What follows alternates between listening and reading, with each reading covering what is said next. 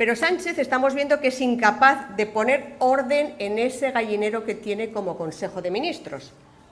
También se le escapa, se le escapa de, ese control la ministra Irene Montero, que defiende los escraches solo cuando se los hacen solo cuando se los hacen a otros y no cuando se los hacen a ellos.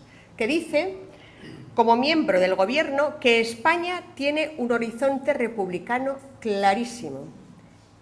Y eso lo dice delante de Sánchez, llevándole absolutamente la contraria al presidente del Gobierno. Por lo tanto, Sánchez está demostrando que es absolutamente incapaz de controlar a sus propios ministros. Y yo me pregunto, ¿cómo puede dirigir un país que no sabe ni dirigir a su propio Consejo de Ministros? Pues solo tiene una fórmula, ¿cómo gobierna Sánchez? Solo tiene una fórmula. Su forma de gobernar es la mentira.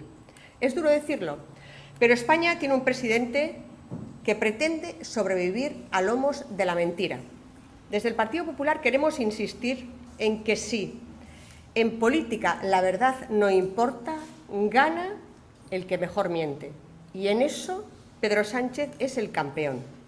Nosotros ni somos ni queremos ser como él. No podemos aceptar que el engaño sea una forma de gobernar y una forma de hacer política. La política es una actividad noble y que tenemos que defender de aquellos que la desprestigian. Debemos hacerlo porque la política es la herramienta que nos hemos dado para mejorar nuestra sociedad y ofrecer un futuro mejor a nuestras generaciones.